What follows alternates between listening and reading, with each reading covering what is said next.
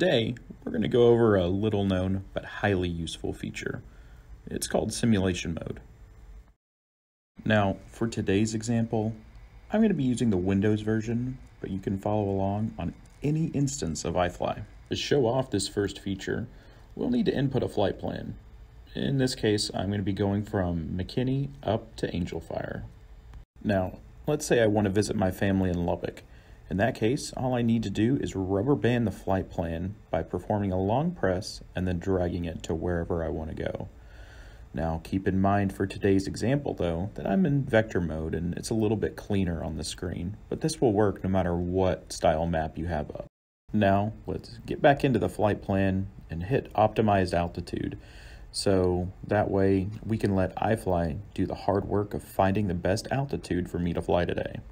So to get into sim mode, let's hit menu and then start simulation mode. It's that simple. Keep in mind that at least for this video, we are going to be including demo traffic just so you can see what it looks like. All right, so now let's hit auto fly flight plan. And again, just for the example so you can see what it looks like, we're gonna hit 5,000 knots.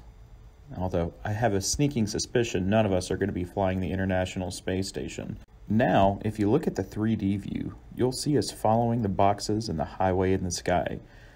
Now, this feature is exceptionally useful when trying to test out a new autopilot or really anything that takes GPS data you have rigged into your iFly, or if you're flying into a new area and you want to see what 3D views look like. The possibilities really are endless here. Now, we can cancel simulation mode by simply just going back into menu and then stop simulation mode. Okay, so let's say you have iFly on a device like a desktop computer that doesn't have a GPS receiver, but you still want to do some flight planning and you still want to use iFly. How do you do that? This is where we've got you covered. All you have to do is simply navigate the crosshair over where you'd like to either start flying from or start planning from. In this case, I'm just going to make it over Lubbock. From here, we will restart simulation mode, but this time we're going to hit Show Sim Controls. Now you'll see on the right hand side a climb rate, a track, and a speed adjustment panel. But crucially, now your aircraft is right over your crosshair.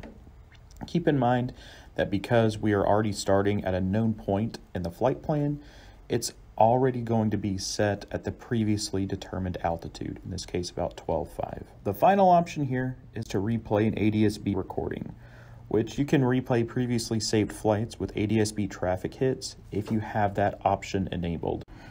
To enable it, all you need to do is simply go to Menu, Setup, ADSB, and then click Options. From Options, make sure ADSB logger is checked. You will need to have logging enabled in order to record a flight that can then be played back in simulation mode. As always, we certainly appreciate every single one of you, and we couldn't do this without you.